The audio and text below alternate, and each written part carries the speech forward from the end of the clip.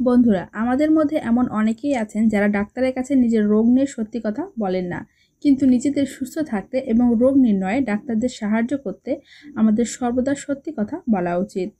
এছাড়াও এমন কিছু রোগ রয়েছে যা আমরা সাধারণভাবে এড়িয়ে চলি, যার কারণে পরবর্তীতে সমস্যায় ভুগে থাকি। তো আজকে চলুন জেনে নেওয়া যাক যে কোন কোন লক্ষণ শরীরে দেখা দিলে সেটাকে এড়িয়ে না গিয়ে অবশ্যই ডাক্তারের শরণাপন্ন হতে হবে। তো প্রথম যে লক্ষণটার কথা বলব, যেটা আপনার কখনোই এড়িয়ে যাওয়া উচিত হবে না, সেটা হচ্ছে পেটের ব্যথা ও ফোলাভাব যদি আপনার পেটে অসহনীয়, অসহ্য ব্যথা হয়, পেট ফুলে যায়, তবে শীঘ্রই ডাক্তারের পরামর্শ নেওয়া উচিত। কারণ পেট ফুলে যাওয়া কেবলমাত্র খাবারের সমস্যার কারণে হয় ফুড পয়জনিংয়ের কারণে হয়, এমনটা মনে করা কিন্তু একেবারেই ঠিক নয়। বরং আলসার, গ্যাস্ট্রিক, অ্যালার্জির মতো কঠিন রোগের উদ্ভবের কারণও কিন্তু দেখা দিতে পারে আপনার পেট ব্যথা, পেট ফোলার মাধ্যমে। আর পেট ব্যথার পাশাপাশি যদি আপনি বমি বমি ভাব, ডায়রিয়া, ওজন হ্রাস অনুভব করেন, তবে অবশ্যই চিকিৎসকের পরামর্শ নেবেন, দেরি করবেন না। দ্বিতীয় লক্ষণ হচ্ছে হঠাৎ শ্রবণ শক্তি হ্রাস পাওয়া। এই ধরনের অসুখ শুধুমাত্র ঠান্ডা লাগা বা কানে ময়লা জমে যাওয়ার কারণে যে হয়, তা কিন্তু একেবারেই নয়। হঠাৎ শ্রবণ শক্তি হ্রাস পাওয়া, অর্থাৎ আপনি হঠাৎ করেই কানে কম শুনতে পাচ্ছেন, এরকমটা হওয়ার কারণ অডিটরি নার্ভের টিউমার বা মাল্টিপল স্কেলেরোসিস এর লক্ষণও হতে পারে। তাই একে অবহেলা করা উচিত হবে না। অতিরিক্ত মাথা ব্যথা। বর্তমান দিনে এই মাথা ব্যথা একটি স্বাভাবিক অসুখ হয়ে দাঁড়িয়েছে, যার ফলে অনেকেই গুরুত্ব দেন না। কিন্তু দিনের পর দিন যদি আপনার অসহ্য মাথা ব্যথা লেগেই থাকে, তবে অবহেলা না করে ডাক্তারের পরামর্শ নিন।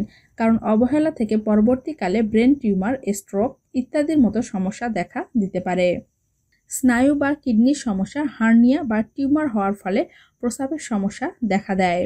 এই রোগের থেকে উপশম পেতে প্রথম পদক্ষেপ হিসেবে গ্রহণ করতে পারেন প্রচুর পরিমাণে পানি পান করা। পানি, প্রচুর পরিমাণে পানি পান আপনার অনেক সমস্যা কমিয়ে দেবে। তবে এটিও যদি কাজ না করে, তবে অবিলম্বে ডাক্তারের সঙ্গে পরামর্শ করুন। মাথা ঘোরা, আমরা অনেকেই ভাবি দুর্বলতা বা রোদে হাঁটার ফলে মাথা ঘোরার সমস্যা দেখা দেয়। স্ট্রেসের কারণে মাথা ঘোরে, মাথা ব্যথা হয়। কিন্তু না, স্ট্রোক সিন্ড্রোমের মতো অন্তর্নিহিত কারণগুলোর জন্য মাথা ঘোরা আছে কিনা তা সন্ধান করার চেষ্টা করতে হবে। তাই চিকিৎসকের পরামর্শ নিন যদি আপনি প্রতিনিয়ত এই সমস্যায় ভুগে থাকেন। Back pain. আধুনিক জীবনযাত্রায় ব্যাক পেইন সাধারণ হয়ে দাঁড়িয়েছে। দীর্ঘ সময় দাঁড়িয়ে কাজ করার কারণে একই রকমভাবে দীর্ঘ সময় বসে থাকার কারণে কিংবা অন্য যে কোনো কারণে আমরা অনেকেই এই ব্যাক পেইনের সমস্যায় ভুগে থাকি। আমরা অনেকেই মনে করি সাধারণত পিঠে ব্যথা মানেই বসা বা শোয়ার কোনো সমস্যা থেকেই এটি দেখা দেয়। তবে সব ক্ষেত্রে কিন্তু এমনটা হবে তা নয়, এমনটা ভাববেন না। এটি শরীরের অভ্যন্তরের কোনো গুরুতর সমস্যা থেকেও হতে পারে, তাই রোগটি নির্বাচন করতে ডাক্তারের পরামর্শ নিন। অর্থাৎ আপনার ব্যাক পেইন যদি রেগুলার হয়ে থাকে, তাহলে ডাক্তারের কাছে গিয়ে পরামর্শ মতো পরীক্ষা নিরীক্ষা করে এটা নিশ্চিত হতে হবে যে আপনার ব্যাক পেইন কেন হচ্ছে। কারণ নির্বাচন করে তার চিকিৎসা নিতে হবে। দৃষ্টিশক্তি হ্রাস পাওয়া।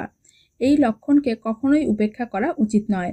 কারণ হঠাৎ দৃষ্টিশক্তির সমস্যা স্ট্রোকের প্রাথমিক লক্ষণগুলোর মধ্যে একটি। তাই অবহেলা না করে অবিলম্বে একজন ডাক্তারের পরামর্শ নিন। তো এসব লক্ষণ ছাড়াও আরও এমন কিছু লক্ষণ রয়েছে যা কখনোই আড়াল করা উচিত নয়। যেমন ব্রেস্ট ল্যাম্প টেস্টিকলসের ল্যাম্প মলে রক্ত, ওজন হ্রাস, হঠাৎ জ্বর, গলা ব্যথা বা মুখে ঘা, ক্রমাগত কাশি ইত্যাদি। এই লক্ষণগুলোর কোনোটিও যদি আপনার দেখা দিয়ে থাকে, আপনি যদি এই সমস্যায় ভুগে থাকেন, তাহলে আর দেরি না করে ডাক্তারের পরামর্শ নিন। সমস্যা পুষে রাখলে পরবর্তীতে ভোগান্তি বেশি হয়। তো বন্ধুরা, আপনারা সচেতন হন, শরীরের প্রতি খেয়াল রাখুন, যত্ন নিন, এটিই আমার চাওয়া। ভালো থাকবেন সবাই, সুস্থ থাকবেন, নিজেদের খেয়াল রাখবেন। আর আপনারা নিশ্চয়ই আমার ভিডিওতে এতক্ষণে লাইক দিয়ে ভিডিওটি শেয়ার করে দিয়েছেন। কমেন্টস করতে ভুলবেন না। ভালো থাকবেন সবাই। দেখা হবে পরবর্তী ভিডিওতে। ধন্যবাদ।